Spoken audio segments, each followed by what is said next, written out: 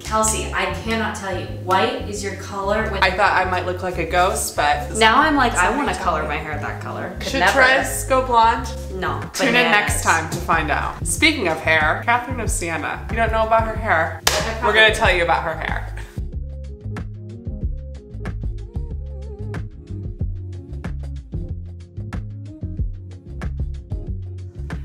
It's about time we get a little video for the other co-patroness of Italy, aka Catherine of Siena. It's her big day. I love her. I'm sure you love her. If you don't, it's probably because you don't know her. So after this video, you will love her. You might be familiar with this little saying she has, be who you were created to be and you will set the world on fire. But fun fact, what she originally said was be who you were created to be and you will set all of Italy ablaze.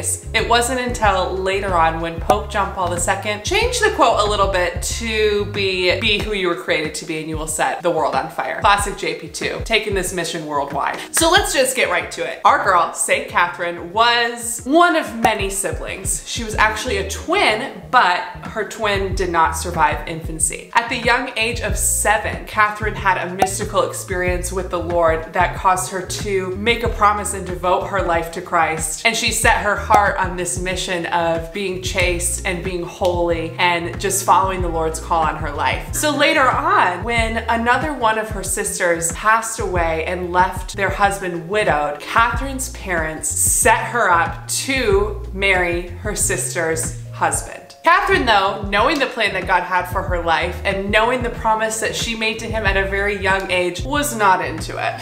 So, in attempt to repel her brother-in-law and any other eligible suitors who were after Catherine's heart, she cut off all her hair in an attempt to make herself less appealing because all she wanted to do was serve the Lord. So eventually her parents kind of backed off, accepted her mission, and she became a third order Dominican and lived at home. There she lived quietly, she learned to read, and casually she experienced mystical visions from our Lord, one of which implored her to once again enter public life and serve the church. And boy, did she. I mean, you name it. Catherine was instrumental in returning the papacy to Rome. No big deal. I mean, the Pope is listening to Catherine. She influenced multiple reforms in the church and begged people to give their lives totally to Christ because that's what the church is about. She served the poor, those poor in spirit and poor in poverty. She visited prisoners and outcasts and just told them about the Lord. She lived a radical life of surrender and courage, and all of her acts point to her ultimate pursuit, which is Jesus Christ, union with Him in heaven. At age 33, she passed away,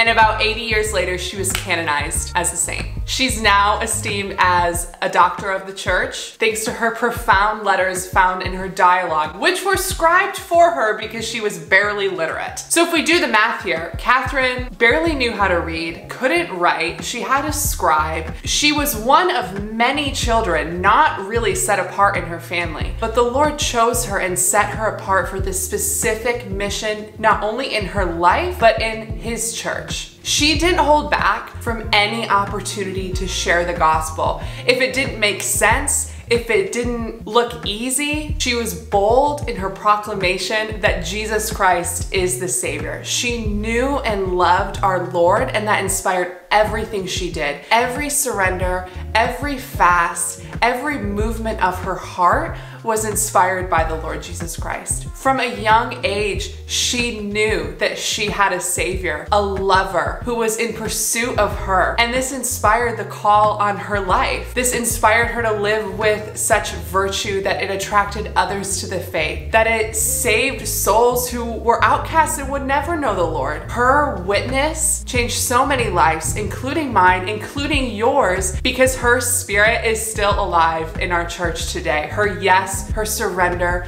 her courage, her virtue influences the faith that we proclaim. If you feel like the check boxes of your life aren't really adding up to anything spectacular, you don't know if the Lord has something great planned for you, you might hear it and think, oh, that kind of life's not for me. The Lord's not gonna do anything great. I'm just like a regular person. I wanna encourage you to be inspired by Catherine's witness, to be inspired by this draw she had towards the light. Throughout her life, she did many things. She went many places, she met many people, but all of it was in pursuit of the light. She knew the Lord, knew his heart, and desired to make that known here on earth, and that was what made her life great. Her influence on my life, on our church, on Italy, on the world is not because of the family she came from. It's not because of her background. It's definitely not because of her education or the lack thereof. It is because of the Holy Spirit and the way he guided Catherine throughout her life. When Catherine was looking at Italy, the Lord was looking at the world. She had an incredible influence and we're so grateful. So friend, let's follow her lead, inspired by JP2 and set the world on fire. Sign me up for setting the world on fire. I'm praying for you. St. Catherine of Siena, pray for us. Bye. And if you want to know more about other people setting the world on fire, check out the rest of our videos.